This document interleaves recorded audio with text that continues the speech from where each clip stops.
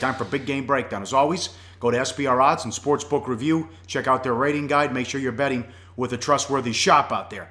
Uh, adjusted series price, unbelievable. Cavs are minus 2,700. Uh, Cavs are five and a half in game two on the road, 219 and a half the total. There was a lot of the focus on the rest versus rust in game one. LeBron James was awesome, 39 points, seven of his first eight field goal attempts, point blank range. He had no problems getting to the basket whenever he wanted. Kevin Love had 32. Tristan Thompson didn't miss, seven of seven. Outplayed Al Horford. Talked to Sean Grande on the VSiN uh, radio show I do, Vegas Stats and Info Network, play by play voice of the Celtics. If the Celtics keep it within five in the rebounding battle, they're 49 and 12 this year. If they out rebound their opponents, they're 29 and 3. Easier said than done. They were 27th in rebounding in the regular season, and they've been dead last in the playoffs so far, Teddy. That's where they have to uh, make some adjustments and do a better job in this game, too. Well, there's a lot of places where Boston needs to make adjustments if they expect game two to be more competitive than game one. And if you're asking me where it starts, it's on the offensive end for the Celtics. I mean, the Cavs defense, let's be real, was a terrible defense in the regular season. They weren't very good in the first round against Indiana. And all of a sudden, they absolutely shut down Isaiah Thomas. Thomas started the game, what, two of eight from the field um, until the end of the second quarter. Boston's already down by more than 20 He's got three turnovers and two field goals made. You know, he got in the lane. He had no good looks at the basket. The team, uh, the, the Cavs took away his passing lanes. They took away his scoring lanes. Uh, Kyrie Irving, quote, we just had a real high awareness on Thomas. You have to. He can get it going at any time. He has put up huge numbers in these playoffs. For us, we just made a conscious effort on our end to keep all eyes on him at all times, but also respect the other guys and make the other guys do things that they're uncomfortable doing. Look, Isaiah Thomas, 7 of 19 from the floor, just 17 points. Only the fourth time in 90 games this year, Pauly, regular season and playoffs, that Thomas has attempted more field goals than he scored points. Uh, Tristan Thompson, quote, does a great job when teams are dropping with the pull up threes.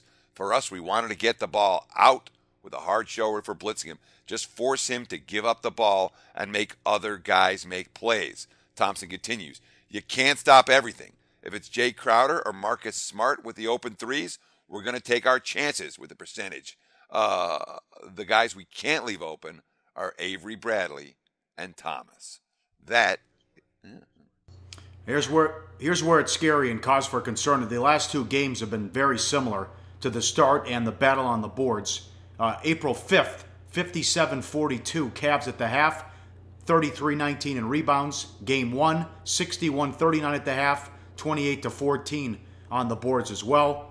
That would combine to a full game count of 118 to 81 with a 61 to 33 rebounding margin. And look at LeBron in 41 minutes, in those 41 minutes, plus 44. Scored more than a point per minute in the opening half of those games with 12 rebounds, 7 assists, and only one turnover and more on the rebounding mismatch. Look at this graphic. Kevin Love, 18 minutes, 20 rebounds. The Boston starters, 161 minutes, 23 rebounds. Come on, guys. Crowder, quote, a lot of underdogs in this locker room. A lot of guys who had to prove themselves in this league. We've been through the ropes. We've had to prove. Uh, we've had to prove themselves.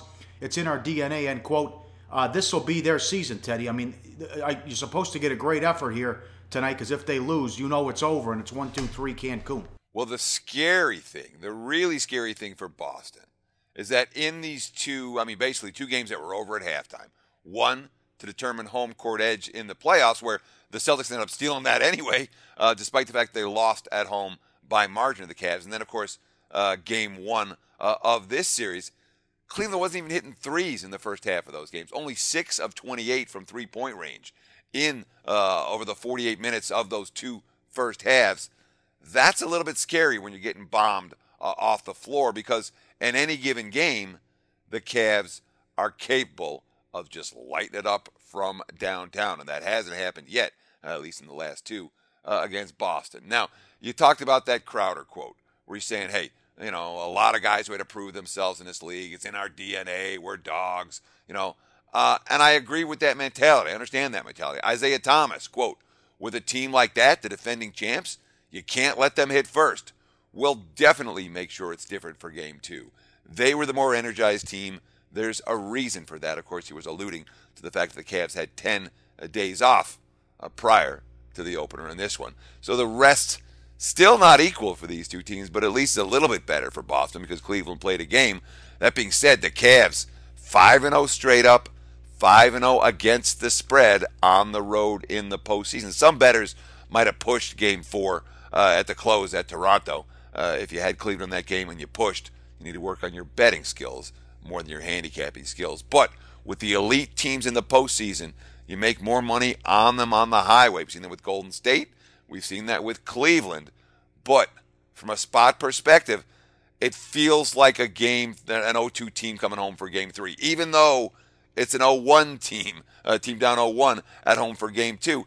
Everyone knows if the Celtics doesn't get, don't make this game competitive, that it's going to be a 1-2-3 Cancun situation, Pauly, as you mentioned. Uh, at the top, it's a situation for Boston, they have to bring their A game, and their A game may or may not be good enough because the Cavs, you know, you say have they turned the switch? They have flipped. Yeah, they flipped that proverbial switch, and they're only getting better, as you mentioned. Hey guys, for the full video, go to SBRPicks.com. Hey guys, thanks for tuning in to our channel. Now, we've put a lot of work into producing all these free videos, so please help us out and keep all our content free for you forever by simply liking, sharing, commenting, and subscribing. Now, not to mention, a visit to our industry leading website will warm the hearts of all our SBR employees, especially myself. Now, the links are over there to the left, uh, so do check those out. Thanks for watching.